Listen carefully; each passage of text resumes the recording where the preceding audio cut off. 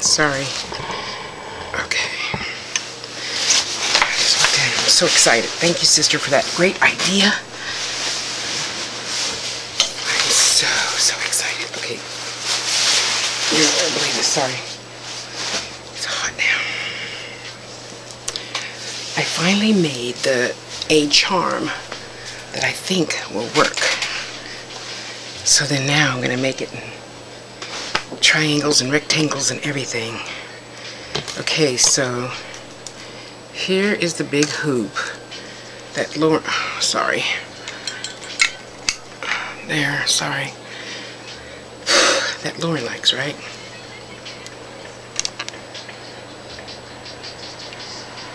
Yeah, you can see that. Okay. I wish I could put my mirror up like I had it before so I could see what you see. Okay, so then, hello, what are we doing? Go off. Okay, so then I have to, I have to either put something over. Can you see that?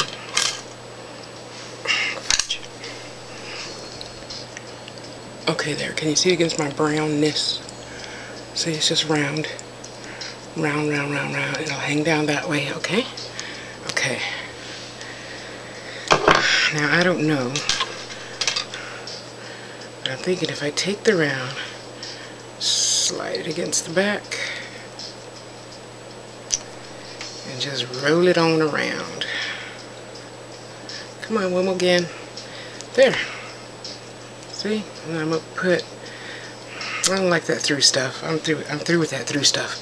So I'm going to bend this one under and put a hook in one. And it better just come on roll right off. See? Yeah I know my nails are too long you can't see. Anyway it rolls on and it rolls off just fine if you don't have long nails. No I'm not cutting them.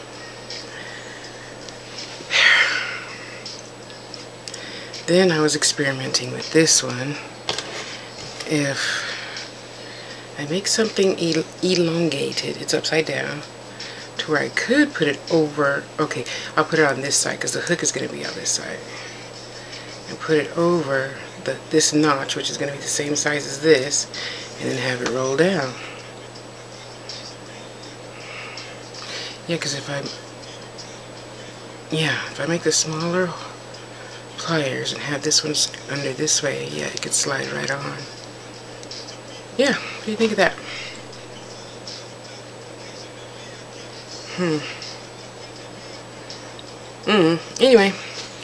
I made a few other pair of earrings and left them at work because I'm going to do my December show with those. So ain't no sense in carrying it back and forth, you know? Anyway, how you guys doing? You have a good day? I would have made my video earlier, but I ran out of, I ran out of batteries. I didn't put new batteries in. So, there you have it. But I am excited. Um, Donna, the lady at the post office you guys saw from the book. Well, the lady that I dedicated the book to. My last book to. Um, she gave me some good stuff. And, of course, I left at work. And, okay, that's about it. It was a pretty fulfilling day. I made like four pair of earrings, gave two away. Oh, well. I am being blessed so I can bless someone else. Yeah, so basically, let's see if I can show you with her other Pam Grier earrings. She loved it, by the way. Okay, so I took this, I made another one of these and put it here, put a bead on it, made another one, put a bead on it. So there's one, two, three of them, so it hung down like about down to here. Except I did it with a thinner silver wire. It looked sharp. It looked really sharp. I know. So I'm going to show you the picture of that first one. I'll put it before this one. Well, you would know that because you're watching the video. Sorry. Anywho. miracles are happening. I'm getting everything I want. Thank God. So, go be good to yourself. I'm going to reboot this old bucket at some point. And upload my videos. Upload my videos. be good to yourself. Love you. Thank you for letting me share my joy. And now, I can go get happy. You go get happy. And happy birthday again to my baby cakes, Cody. Go be good. Love ya. Bye. See, I made, I think, 10 little charms. Sorry, hang on. Ah. Oh. I'm not going to tell you how I got them on there. Sister will know. Sister will know how I got them on there. I don't want to tell my secret yet. But there's 12 of them. Or, sorry, 10 of them. And they're all different, of course. Because if I don't make the second one as, as soon... I really like that blue one. It's so hodgepodge like me. If I don't make the second one right away, I just see... I just See these two? They're totally different. This is, sorry, this is one. And here's the other one. These two are nowhere alike. See this one? And this one? I mean, they look similar, but, you know, this one has a little bit more wire. Anyway, so, yeah, I think she'll like it, though. I'm not going to give it to her now till Christmas. But, oh, sorry. But, uh, yeah, I'm going to make her a whole bunch of different ones.